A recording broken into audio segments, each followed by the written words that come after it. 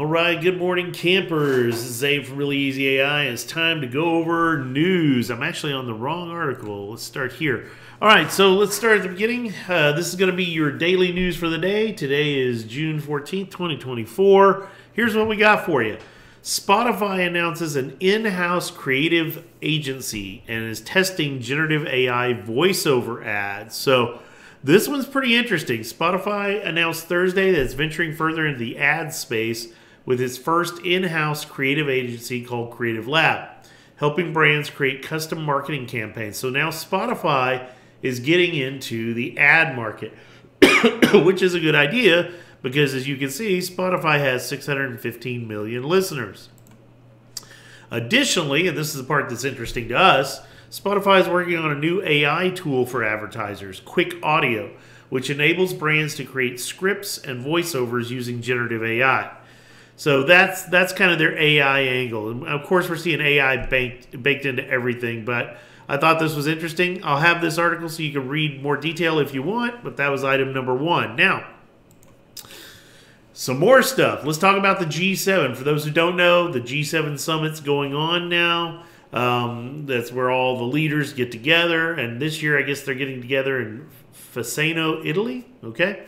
Um, and uh, so, yeah, so it turns out that the CEO of Microsoft, Satya Nadella, made remarks at the G4 summit. Well, so did the Pope. We'll get to that as well.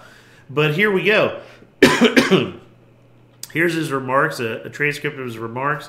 Uh, I'll go through them real quick. Uh, basically, he just thanks uh, everybody for being there in the first paragraph. Second paragraph, uh, as this partnership recognized, we're entering an, a very new age driven by AI, which has made clear the critical importance of both digital infrastructure and connectivity in every sector of the economy and every quarter of the world, as well as energy. There is no doubt that AI is one of the most transformative technologies of our time and we believe it will fundamentally bend the productivity curve for every individual, organization, and industry sector to help us address some of our most pressing global challenges, including the world's low income countries. All right. Uh, let's see. Moving on, just scanning the next. The paragraph after that is just talking about how they want to help the world. This presents blah blah blah, and uh, here we go. Over the past three months, for example, We've invested 5 billion in cloud and AI infrastructure in Indonesia and Malaysia and Thailand as well as Kenya. Together with our partners G42 of the UAE, this work uh, this is work designed to drive that broad spectrum of economic growth, innovation, and connectivity. So basically, they're building out in cheap places where they can get cheap labor and making it sound like they're doing something awesome which actually, to be fair, is kind of cool. I'm sure those countries could use that infusion of capital, but don't fool yourself. There's uh, the reason they're going to those places is because they can get cheap labor too. Uh, so it's a win-win. We've also uh, there's talking about the future of infrastructure, of course. Mm, and let me see what else. Okay, that's about it. So those were the main AI pieces, uh, which you know it's we know this to be true, but it's it's always interesting to hear it. This is the CEO of Microsoft addressing all the leaders of the world or all the key leaders of the G7. Now, turns out Pope Francis is over there at the G7 too. It's the first time a pope has addressed the G7 ever. And for those who don't know, there was a um, there was a meme going around of the Pope in Balenciaga uh, code or something. It was called the Balenciaga Pope meme. Let's see if I can find it so you guys can see what that looks like. Let's see here. Yeah, there it is. It has him wearing this uh, puffy coat.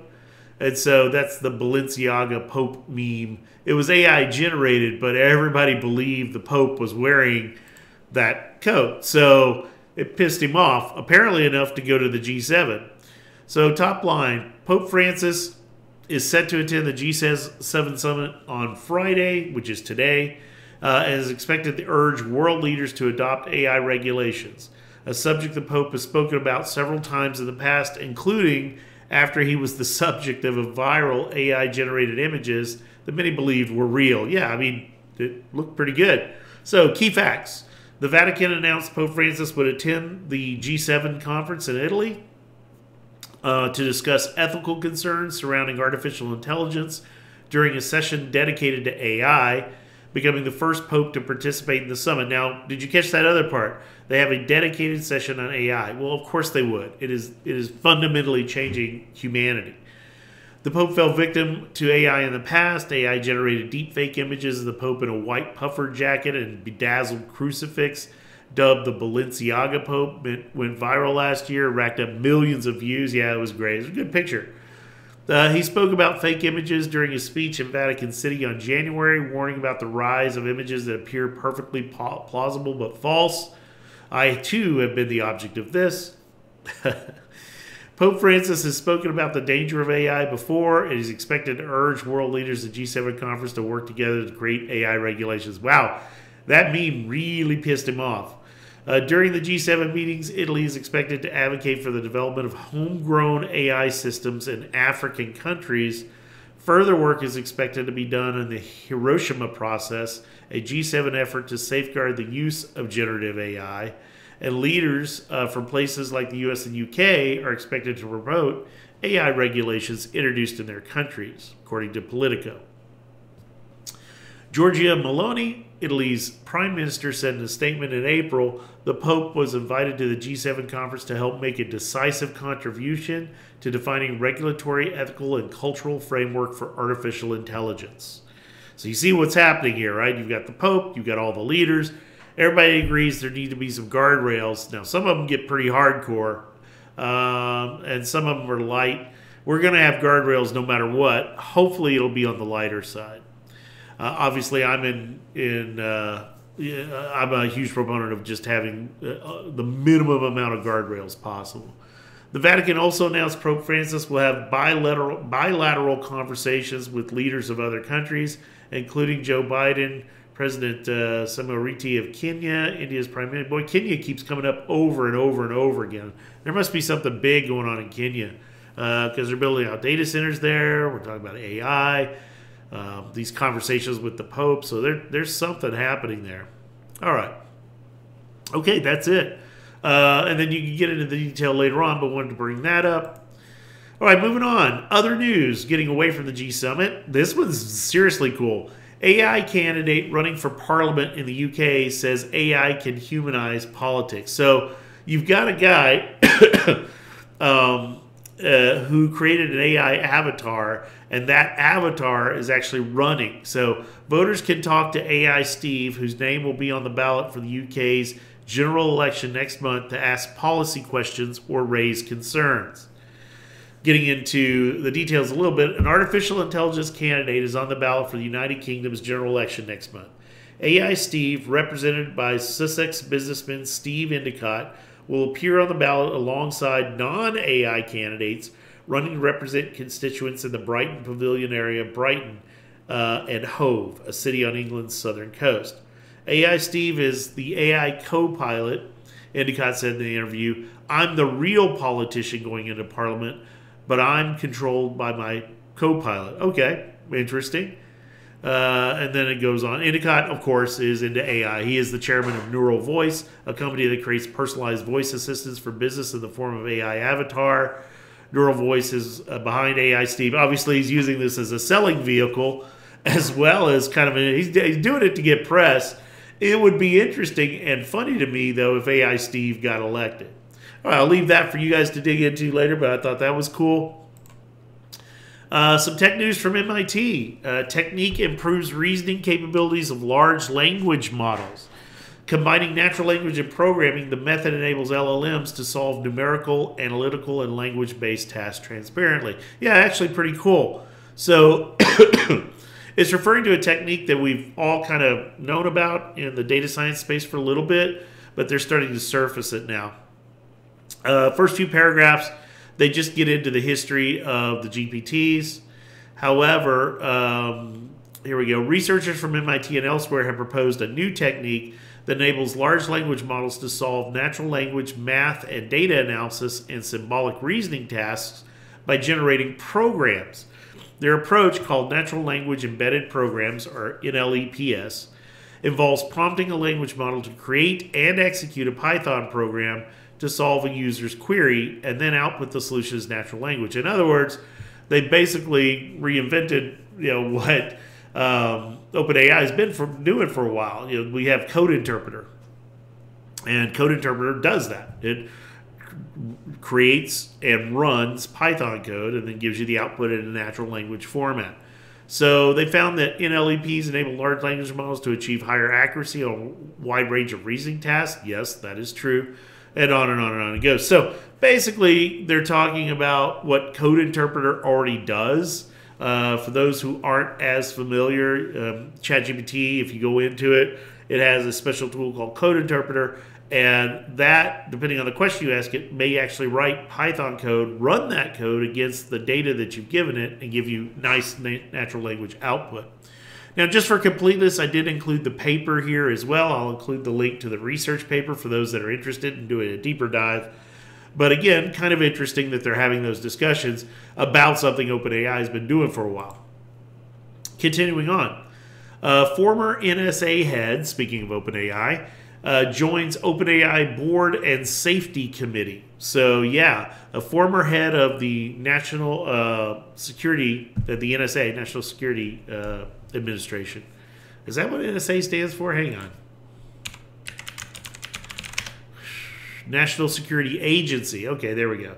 National Security Agency. So former head of the uh, NSA joins OpenAI board and safety.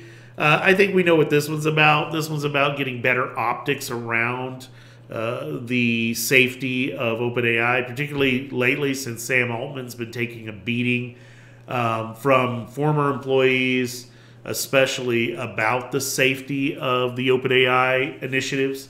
And so it looks like they've got uh, retired General Paul Nakasone uh, will join OpenAI's board of directors. The AI company announced Thursday afternoon, which was yesterday. Uh, he'll also sit on the board's security and safety subcommittee. okay, good.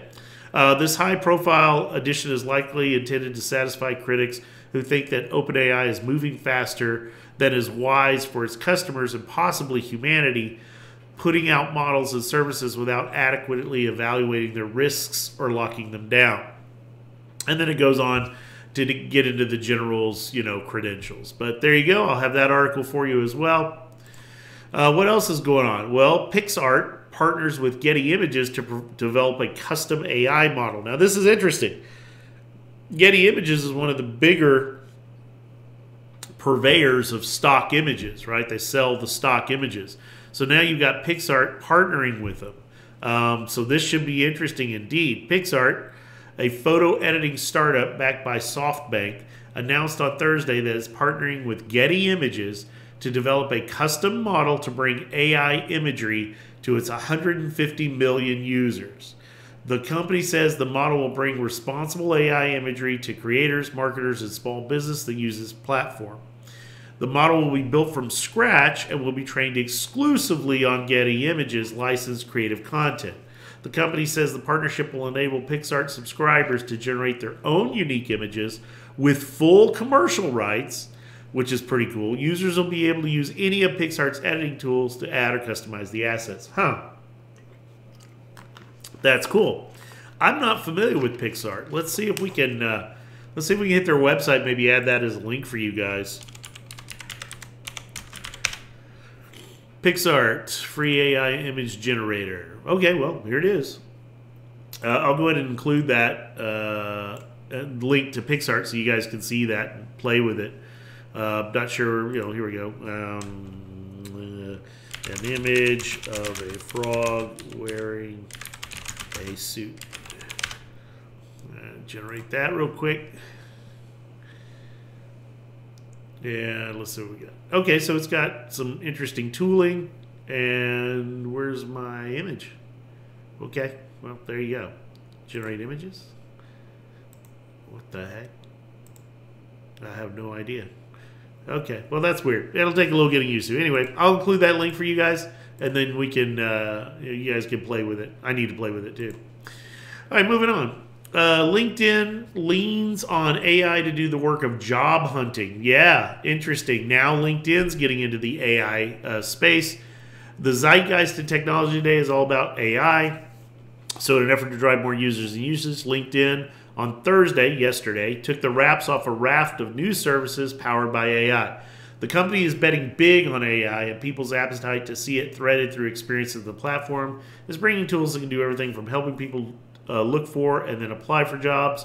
Yes, there's a tool to write the whole application and cover letter for you, to surfacing relevant learning material about AI naturally, and searching, searching all of LinkedIn to find what you need more quickly. We'll run through some of the bigger features here. so here we go. Um, let's see. First, if we pointed out, this is not LinkedIn's first rodeo with AI. The company has been uh, threading the tech into its products from its earliest days. Uh, in fact, you, you, could argue that there's very little that AI is not touching at the company. So that's the thing. All right, let's get into the, the features though. Uh, da, da, da, well, I guess I thought they were going to get into the features. Now they're just getting into stuff. Uh, here we go. Okay, job searches and applications. We're getting a new way to search for jobs using conventional prompts. Still relies on the data in the job actually existing, but you'll be able to prompt your way to having you create, you know, your cover letters and all that good stuff. So that's pretty cool. Um, so here, for example, finding jobs in journalism in London that pays a salary of at least 100,000 may not turn up much no matter how many ways you phrase it. Once you've found jobs and want to apply, you can now generate a cover letter or a letter of introduction. The AI will also give you a further review of your resume and other work.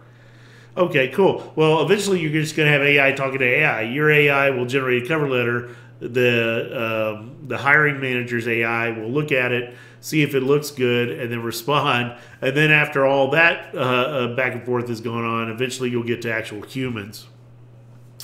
Uh, learning personalization. LinkedIn continues to be bullish on its video based learning. So uh, it's uh, uh, and it appears to have found a strong current among users who need to skill up on AI. So now it's offering a ton of AI related courses. For premium subscribers, it's piloting what, piloting what it describes as expert advice powered by AI, tapping into expertise from well known instructors such as, and then it lists some instructors. LinkedIn says its AI powered uh, coaches will deliver responses personalized to users as a starting point.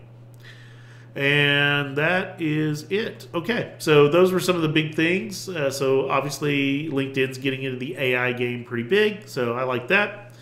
Now, this next one's pretty cool. Continuing, uh, kind of leading off that LinkedIn uh, focusing on learning.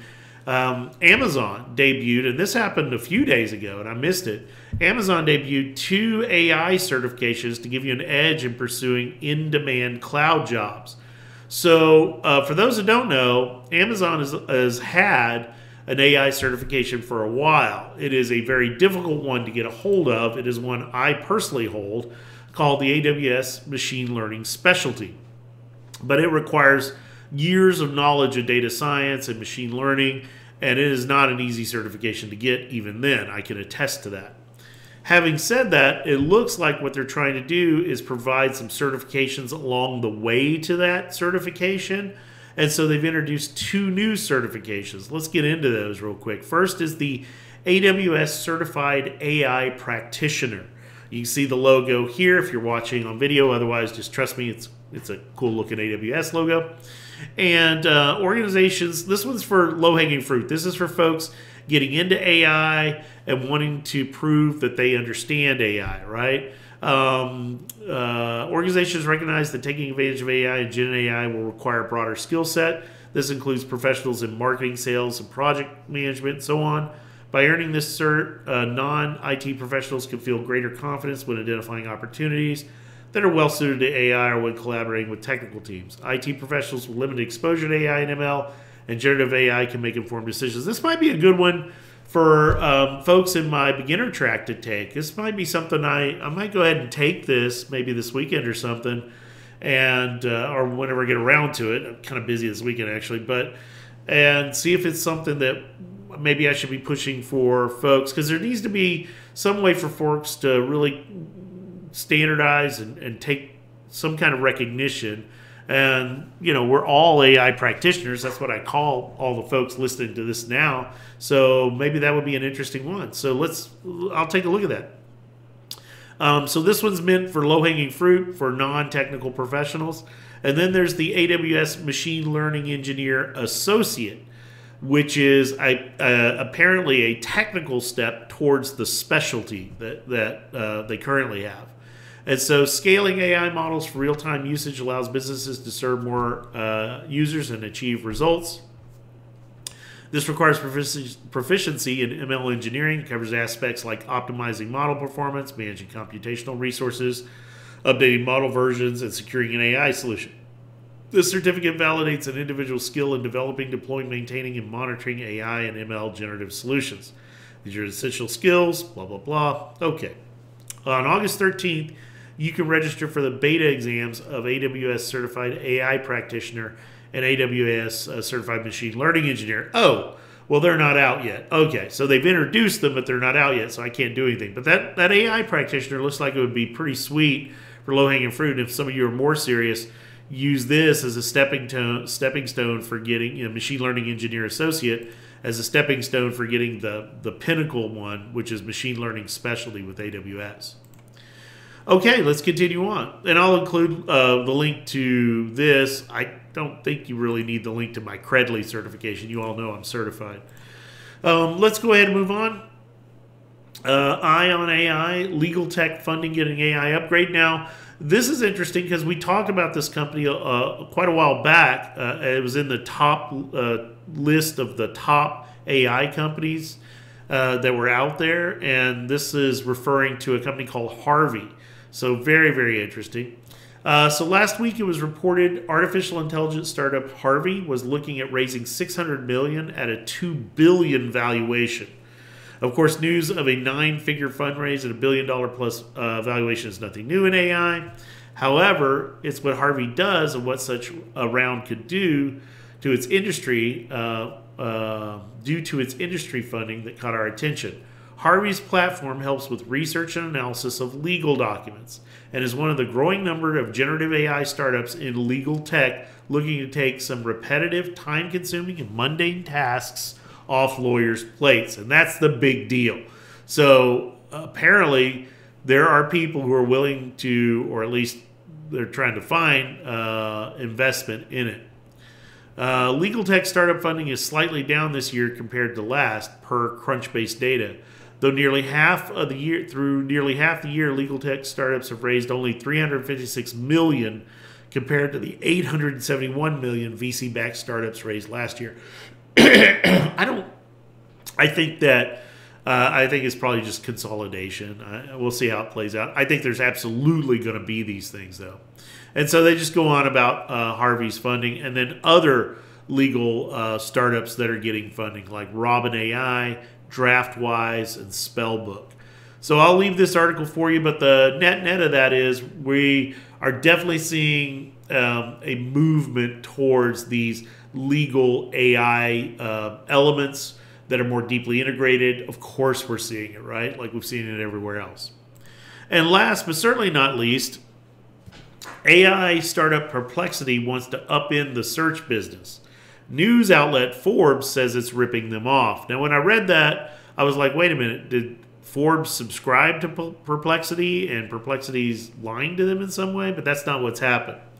So let's go ahead and uh, take a look. And uh, the artificial intelligence startup Perplexity AI has raised tens of millions of dollars from the likes of Jeff Bezos and other prominent tech investors for its mission to rival Google in the business of searching for information. And right now, Perplexity is uh, you know doing better than Google. Google's getting a lot of negative press lately for their stuff, uh, especially the you know the infamous AI summaries of searches where you know it, it tells you you can put glue on pizza and all that. We did a, a did a thing on that. Um, the artificial intelligence startup Perplexity AI has raised tens of millions of dollars from the likes of Jeff Bezos and other prominent tech investors for its mission to rival Google in the business of searching for information. But its AI driven search chatbot is already facing challenges as some news media companies object to its business practices, and tech giants Google and now Apple are increasingly fusing similar AI features into the core product. Perplexity CEO Aravind Srinivas, I don't know how to pronounce that, has spent much of the last uh, past week defending the company after it published a summarized news story with information and similar wording to a Forbes investigation investigative story, but without citing the media outlet or asking for its permission. Forbes said it later found similar knockoff stories lifted from other publications. The Associated Press separately found another Perplexity product feature inventing fake quotes from real people, including a former elected town official from Martha's Vineyard, falsely quoting to say he didn't want the Massachusetts island to become a destination for marijuana. Uh, I never said that, said Bill Rossi. So we've got some issues here. So, what this is meant to do, apparently, uh, and this is from ABC News. They're a news outlet, so they have a vested interest and a bias towards, you know, Perplexity not doing things a certain way. However, Perplexity, if Perplexity is in fact doing what Forbes claims they're doing, uh, then that's bad too. So this this looks like there's no winner here. Uh, we'll have to see. Now, for those who aren't familiar with per- Perplexity, um, it has been out for a while. Uh, Perplexity AI and uh, they have in fact been trying to rival uh, Google in terms of their search. So here's what it looks like. I'll include the link to it uh, in the description as well. So links to all these news articles are in the description. That is your news for the day. This is Zane. I'll see you next time.